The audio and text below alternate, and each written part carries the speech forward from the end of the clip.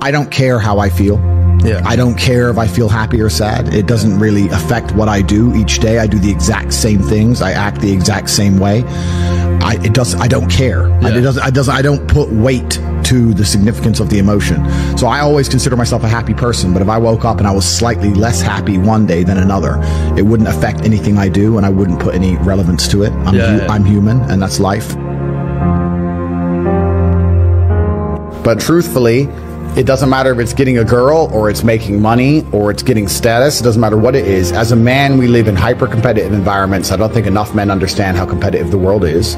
If you want a girl, you're competing against other men. You're not the only man who had the idea of getting that girl. There's no girl you're going to see and go, oh, I'll get that girl and didn't cross anyone else's mind. Everybody else wants her. You have to outcompete other men. You have to be as competitive as possible.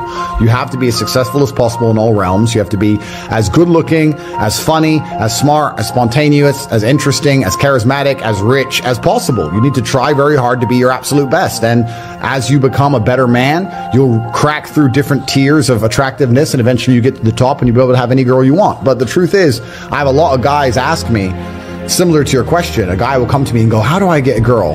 I'm like, bro, you're a loser. Yeah, but I know, but how do I get a girl? Well, you're a fucking loser. You're a loser. Why are you asking me? It's like saying, How do I win a race with a push bike? You're racing Ferraris. What do you want me to do? Yeah. There's only so much you can do. There's only so hard you can pedal. There's only so many tricks and, and tips. There's only so many game things you can say, Yeah. so many pickup lines. If you're a loser, it's going to be very, very difficult and it's going to get harder and harder.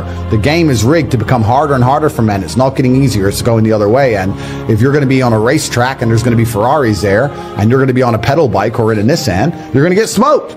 That's the game. You have No. to up yourself. You have to improve yourself. I'm not going to lie to anybody here and say you don't have to improve yourself. You could stay a loser and, and get chicks because you can.